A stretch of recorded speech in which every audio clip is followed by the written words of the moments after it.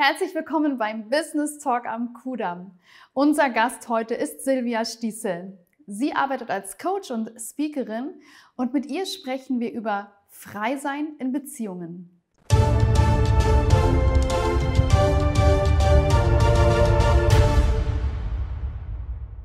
Frau Stiese, eine neue Beziehung hat oftmals ganz starke Auswirkungen und zwar auf das gesamte Sozialleben. Woran liegt das? Das liegt daran, dass wir erstmal in eine Verliebtheitsphase kommen und dann ist natürlich erstmal alles schön, alles neu und wir geben dem Partner oder der Partnerin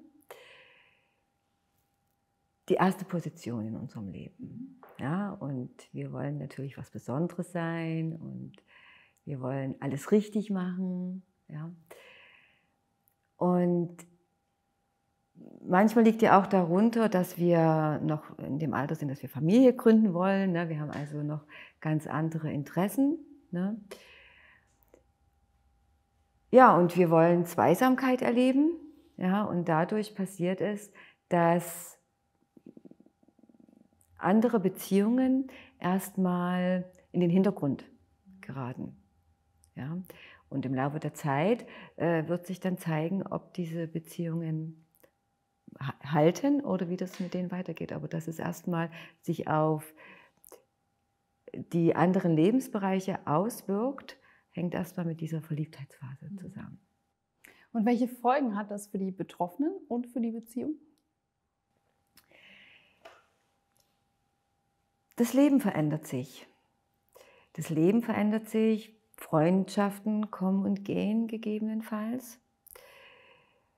Manchmal kann es sein, dass jemand kaum Freunde hat und jetzt in einen riesen Freundeskreis von dem Partner oder der Partnerin reinkommt, was natürlich immer wieder mit, mit, einer, mit einem Veränderungsprozess einhergeht. Und wir denken oft, was für mich gut ist, ist dann für den Partner oder die Partnerin auch gut und wir merken gar nicht, dass, sie, dass wir sie vielleicht überfordern. Ja, auf der einen Seite, wir haben ja immer gut positive Absichten, ja, immer positive Absichten, aber wir ähm, bemerken oftmals nicht, dass unter dieser positiven Absicht dann doch unten drunter ein, ich sag mal, vielleicht ein Angriffsgedanke oder, oder eine Angst liegt, ja, ähm, den anderen zu verlieren oder überhaupt jemanden zu verlieren oder wie auch immer. Das ist das eine, was äh, ja, für die Betroffenen, ne? also dass, dass sich Lebensumstände äh, verändern, dass wir aufgefordert sind, uns zu verändern. Ne? Und da kommen ganz viele Triggerpunkte auf uns zu. Ne? Wenn wir eine neue Beziehung eingehen, dann äh, wollen die Triggerpunkte geheilt werden, die uns vom Glücklichsein abhalten in dieser Beziehung. Ja, ganz wichtig zu wissen. Das ist erstmal, was auf die Leute drauf zukommt. Ja, und für die Beziehung, welchen, äh, welchen Einfluss hat das auf die Beziehung? Die zweite Phase, in dem wir, in dem jede Beziehung geht, nach der Verliebtheitsphase, kommt die sogenannte, ich nenne sie die Heilungsphase, aber viele nennen sie auch die Machtkampfphase.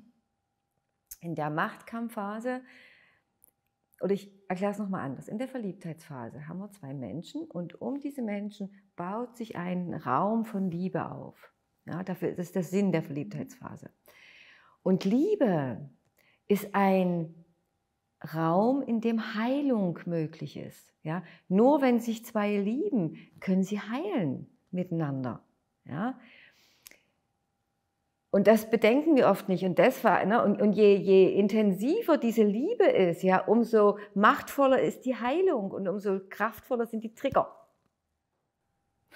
Okay. Das ist aber nicht bewusst. Ne? Also je, je mehr Schmerz mir der Partner zufügt, umso kraftvoller sozusagen war die Verliebtheitsphase mhm. Und die Verliebtheitsphase muss nicht lang. Also es gibt äh, Verliebtheitsphasen, die sind nur einen also ganz kurz, einen Augenblick vielleicht. ja, ähm, und manche sind, ich hatte mal eine, die war über zwei Jahre, mhm. war super schön. Ja, wichtig ist die Intensität. An der Intensität erkennen wir das Potenzial dieser Beziehung. Ne? Und ja, das ist die, die Auswirkung für die Beziehung ist, dass wir in Heilung kommen können, dass wir unsere Triggerpunkte heilen können. Aber was wir oft machen, ist, dass wir unsere Schutzmechanismen erforschen und die wieder hochfahren. Mhm. Und dann passiert das, dass wir eben anstatt der Heilungsphase die Machtkampfphase erleben und dann eben eher entweder in die tote Zone gehen oder uns trennen. Mhm. In Ihrer täglichen Arbeit geht es sehr häufig um Beziehungsprobleme. Was sind denn so ganz typische Auslöser, weil Sie haben sehr viel Erfahrung, ähm, dass Menschen sich einfach nicht mehr wohlfühlen in der Beziehung? Wie kommt es dazu? Ja, die Auslöser sind immer die Triggerpunkte, ja, weil wir es einfach nicht schaffen, äh, Rücksicht zu nehmen. Ja, weil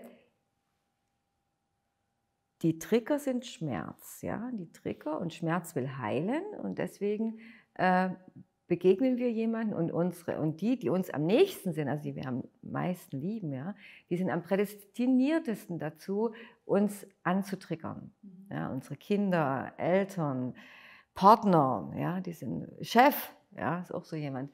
Die haben wirklich, die sind, weil, weil sie uns ja nahe sein müssten eigentlich, ne, haben sie ein hohes Potenzial, äh, uns anzutriggern. Und aber unter diesen Triggern liegen ja schmerzhafte Erfahrungen. Ja? Und äh, typische schmerzhafte Erfahrungen sind eben dieses, ich bin nicht gut genug, ich schaffe es nicht, ich bin nicht gewollt, kommt ganz oft. Ja? Oder ich wurde nicht geliebt, man hat mich ungerecht behandelt, auch seelischen, körperlichen und, sag ich mal, sexuellen Missbrauch, ja, habe ich auch erfahren, spielt oft eine Rolle, ja. Ja, also diese, diese ungeheilten, schmerzhaften Erfahrungen sind die Auslöser und die kommen immer wieder. Man muss sich vorstellen, wir haben, wenn wir geboren werden, ja, kommen wir in die Beziehung mit Mama und Papa. Das ist die erste Beziehung. Das ist die Basis. Das ist wie wenn ich ein Haus auf, äh, auf festen Stein baue. Ne? Die Basis muss passen, die Basis muss stimmen. Und dann fangen wir an, hier ähm, schmerzhafte Erfahrungen nicht zu heilen. Ne? Durch die, diese Trauerprozesse werden die nicht geheilt. Und Schmerz, habe ich ja gesagt, Schmerz strebt nach Heilung. Das heißt, alles, was in dieser Basis nicht geheilt ist, kommt in jeder anderen Beziehung zum Ausdruck. Das nehmen wir mit, das können wir nicht verhindern. Wir wollen oft uns vom Partner trennen, von dem einen, weil wir denken, das wird dann mit dem nächsten nicht passieren. Nein, ganz im Gegenteil. Was wir da wieder nicht geheilt haben, schleppen wir wieder mit.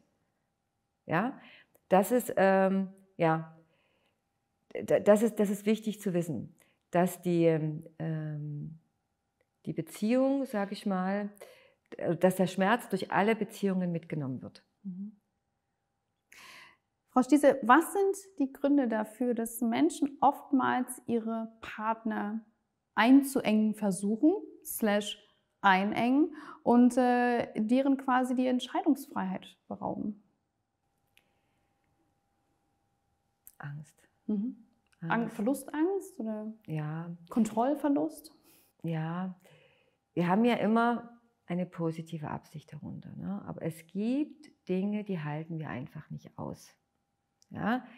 Da haben wir Angst, jemanden zu verlieren. Wir haben, machen uns Sorgen um jemanden, er könnte krank werden, es könnte ein Unfall passieren, was weiß ich, Kinder könnten in der Schule versagen oder so. Ne? Und dann haben wir Ideen, entwickeln wir Ideen, dass wir ihnen etwas verbieten oder dass wir sagen, nein, mach das nicht oder mach das. Ja, und ich hatte eine Teilnehmerin, die war gerade, also die, der Sohn war, glaube ich, 16 oder so. Und er wollte unbedingt den Moped-Führerschein machen. Ja.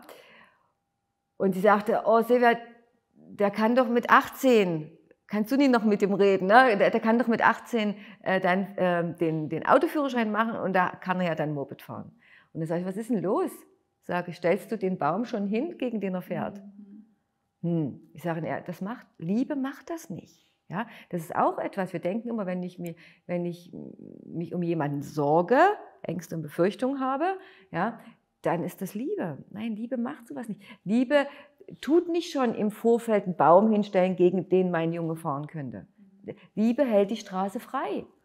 Das ist das, was Liebe macht. Ja? Und das ist nur ein Beispiel. Wir machen das ja ganz oft, dass wir hier ähm, in, in irgendwas rein investieren und wenn es dann in Erfüllung geht, dann sagen wir noch recht gehabt. Ja? Aber man muss wissen, zuerst ist der Gedanke, dann ist die Erfahrung. Nicht umgedreht. Erst ist, erst ist der Gedanke, Geist denkt und Denken erschafft. Und nicht umgedreht. Wir denken immer, erst erfahren wir was und dann bewerten wir es. Nein, erst Erst ist der Gedanke, erst ist die Bewertung und dann ist die Erfahrung. Frau Stiese, wie kann ich solche Trigger, die mich belasten, solche Glaubenssätze erst einmal erkennen? Ich glaube, das Erkennen ist schon mal ein, ein starker Prozess. Und wie kann ich diese für mich dann negativen Glaubenssätze auflösen? Wie kann ich die in etwas Schönes, Positives, in Liebe umwandeln? Naja, das Beste ist, sie kommen in meinen Kurs der große Selbstliebe Online-Kurs. Mhm. Das Jahrestraining, das ist perfekt dafür geeignet. Ansonsten, äh, das Wichtigste ist das Fühlen. Fühlen, nicht mit Angriff reagieren, ja, sondern fühlen, was macht es. Ja? Weil ja, ähm, die Welt ist unser Spiegel, ganz wichtig, ich sage immer, die Welt ist nicht nur unser Spiegel, sondern die Welt ist ein, ein zerbrochener Spiegel unserer Liebe.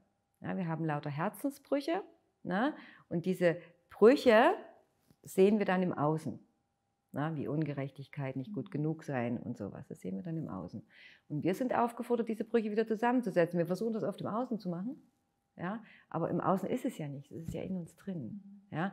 Und wir haben mit diesen Triggerpunkten, setzen wir Erinnerungspunkte. Ja? Und diese Erinnerungspunkte nehmen wir aus der Vergangenheit, stellen sie in die Gegenwart und gehen in die Zukunft damit. Ja? Das heißt, wir checken erstmal unsere ganze Umwelt ja, wir haben jetzt eine Situation, wo wir enttäuscht worden sind und da haben wir Erinnerungspunkte und das erinnert mich und das erinnert mich, das erinnert mich, das, ah, da muss ich aufpassen. Da, so. Und im Laufe der Zeit wird es immer mehr, weil wir immer mehr darauf fokussiert sind. Und deswegen ziehen wir die Enttäuschungen an. Macht ja Sinn, oder? Na, wir gehen ja darauf zu. Na? Das heißt, wir checken erstmal unsere Umwelt ähm, darauf, dass, überall, äh, dass uns überall was, was passieren kann. Ja? So, und dann, wenn wir, wenn wir ja, denken, wir recht gehabt. So. Und davon müssen wir wegkommen. Ja, davon müssen wir wegkommen. Das kann man einmal machen mit Gedankenhygiene. Mhm. Mein Tagestipp für mehr Erfolg und Lebensfreude gehört zum Jahrestraining, kann man mhm. aber auch separat buchen, ja. äh, gehört aber auch zum Jahrestraining. Dass wir Selbstliebe beginnt hier im Gedanken. Ja? Heilung ist auf der Erfahrungs-, auf der Herzebene wenn wir uns ein Herz vorstellen, ja, und das ist gebrochen, mhm. na, mit der Gedankenhygiene fangen wir an, so von oben zu heilen. Ja, so. Aber unten ist der Bruch am stärksten. Unten ist der Bruch am stärksten. Ja? Und Heilung durch Selbstliebe wirkt, dass wir an den Bruch rangehen. Und das machen wir über das Fühlen. Weil der Spiegel, ja, wenn, wenn jetzt jemand ähm, mich beleidigt, das kann der Spiegel schon sein, der Spiegel kann aber auch ein Stück weiter unten liegen. Ja? Und das, das machen wir über das Fühlen der Gefühle. Schmerz kann uns umbringen, das wissen wir. Schmerz kann uns umbringen. Ne? Es gibt Krankheiten, die sind nicht heilbar. Auf der körperlichen Ebene wissen wir das, auf der äh, seelischen Ebene ist das genauso. Ja? Liebeskummer kann Herzinfarkte verursachen, kann, können wir sterben dran. Ja? Das Fühlen des Schmerzes ist die Heilungsmethode. Ja? Und vom Fühlen stirbt niemand. Das ist im Moment, klar, wenn der Schmerz aufgeht, sehr heftig. Ja? Aber über das Fühlen äh, ist das, das ist das Heilmittel. Ja? Und es ist wie ein, ein Jungbrunnen, das Fühlen. Ja? Das ist das Wasser des Lebens, sage ich immer. Man muss ja bedenken, der Schmerz, den wir unterdrücken, der ist nicht nur auf der Gefühlsebene, der ist auch in unserem Körper. Ne? Ich biete auch äh, so einen Heilström an und da hole ich die ganzen Emotionen mit raus und dann merke ich genau, das ist Trauer, mhm. das ist Frust, das ist Wut. Ne? Und das, das blockiert uns und das ähm, ähm, verursacht dann sehr viele Symptome, äh, wie hier Halsbeschwerden, mhm. äh, also Nacken, Rückenbeschwerden, Knieprobleme, Magen, Magen-Darm, ja, also Unwohlsein und sowas. Ne? Und ja, fühlen, fühlen, fühlen, fühlen ist ganz wichtig. Und die Selbstliebeprinzipien. Die Selbstliebeprinzipien zeigen uns den Weg. Auf die Liebe schauen, akzeptiere, was ist, weil es ist ja eh, was willst du da Widerstand sein, rebellisch sein, ja, ist nur Zeitverschwendung. Ne? Akzeptiere, was ist, verant übernimm Verantwortung und lass die Verantwortung dort, wo sie hingehört und vergib. Lass los, ja, lass los die, deine Urteile, deine ähm, angstvollen, sorgenvollen Gedanken, lass die los, vertraue. Zum Vertrauen gehört für mich auch immer wieder, und das ist auch etwas, was äh, unterschätzt wird, immer wieder auch die Anbindung zu Gott, Gott ins Leben reinholen. Das haben viele ähm, äh, ja, haben Gott vergessen. Ne? Und ich merke in den Coachings immer wieder, dass wir uns danach sehnen, nach, nach weil die Seele von Gott kommt, die Seele ist eine Ausdehnung Gottes und wir sehen uns danach. Ja, und das bemerke ich immer wieder. Das ist eine sehr häufige Rückmeldung, die ich auch bekomme, dass das wunderschön ist, wenn ich äh, denen wieder diesen Weg öffne. Ne? Also Vertrauen, vertraue, dann äh, geh in die Führung, engagiere dich für deine Werte, ja, höre mal auf, äh, dich für die Ungerechtigkeit äh, zu kämpfen oder irgendwas, sondern engagiere dich für deine Werte. Was bist du? Was willst du? Wofür willst du gehen? Ja, für Ehrlichkeit, Harmonie, Verbundenheit. Ja, diese äh, engagiere dich für deine Werte. Ja, und dann gib deine Liebe und geh weiter. Das sind die Selbstliebeprinzipien. Wenn man das einmal wirklich verinnerlicht hat, ja, dann willst du nie wieder was anderes machen und dann gehst du durch deine äh, Triggerpunkte durch. Immer wieder, immer wieder. Das wird immer leichter, mhm. immer freier, immer schöner, immer besser. Ein sehr schöner letzter Gedanke. Es war schön, mit Ihnen zu sprechen über diese Themen und ich glaube, sie sind gerade heute in dieser unglaublich hektischen Zeit wichtig, dass man auch mal innehält, reflektiert und äh, ja, wie Sie gesagt haben, auf sich und auf seine Gefühle hört. Vielen Dank, dass Sie heute da waren. Ja, danke Ihnen auch.